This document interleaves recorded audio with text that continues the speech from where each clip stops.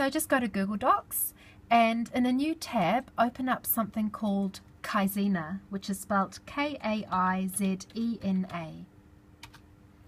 This is a free tool and it integrates with your Google Drive account. It'll automatically recognize your Gmail and you can just accept the profile, which I've done. So this is what you'll see and you need this icon here, Add Document. Click on that and this will automatically link up with your Google Docs. So I'm just going to choose a document. I teach language students and as well as wanting feedback on their writing, they also want more listening practice. So this is a really great way to combine the two.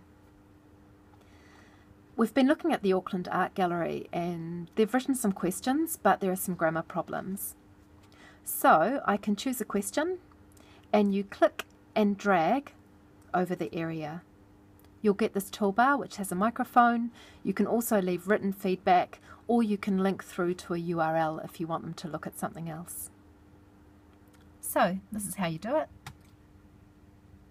Press record.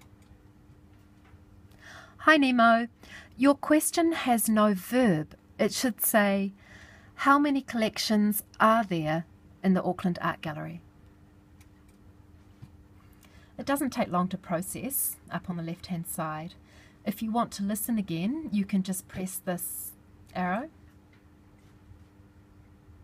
Hi Nemo, your question has... And if you're not happy with it, when you press the X button, you can delete it if you want. So what you need to do, you will see these two lines here this connects up with all of the people who share that document. So I've got five students using this. Um, I'm the reviewer. This is Nemo. So I'll just click on him. This will automatically go back to the Google document. So I'll just show you what it looks like for the student. When they open up the document, they will get a comment in the comment section.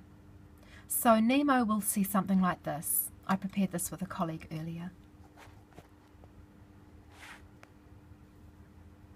So Nemo, Nemo would just have to click on the link and this would take me through to the Kaizena page.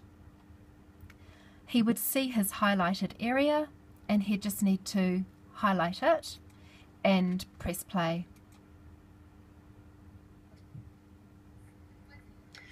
Really well done, Lisa. The grammar's good. I like your passive verb. Just check your spelling of here.